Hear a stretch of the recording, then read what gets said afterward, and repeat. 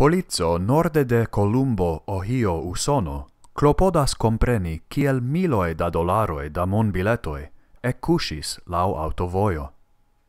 Policestro Russ Martin diris che estis tiom da mon biletoi apud Usona voio dudec tri, che en la campo aspectis quasau crescis mono.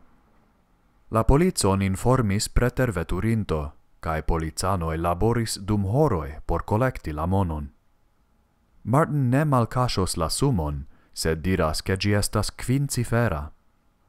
Oni controlis ce la landa polizzo, mon camiona firmao, cae banco curieroi. Neniu raportis perdon. La policestro certas che liai collegoe collectis ciuin mon biletoin, do diras che veturantoi ne haltu, cun espero trovi tresoron.